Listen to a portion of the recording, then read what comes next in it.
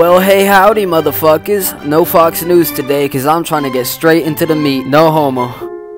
This nigga gay. I better not see no comments about the sus shit, bro. It's gay. Austin's been up to some pretty weird shit lately. Gibbs, you are in fucking trouble. Excuse my French. He does know he's still ugly with that Instagram filter on, right? But him and his perm have been calling out Jake Paul and KSI. Wow. This fight ends badly for you. This fight also ends badly for you. Oh, and so does this one. But most of all...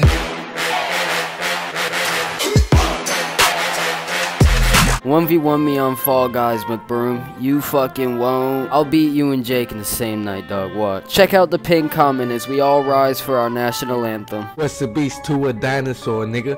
Pterodactyl mixed with a T-Rex. T-Rectodactyl.